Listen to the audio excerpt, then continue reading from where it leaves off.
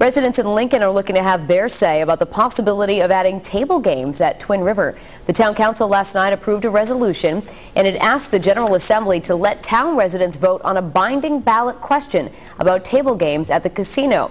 The town wants to make sure that it has a voice should any proposals seeking additional gaming in Rhode Island were to come to fruition. Hey, distinct.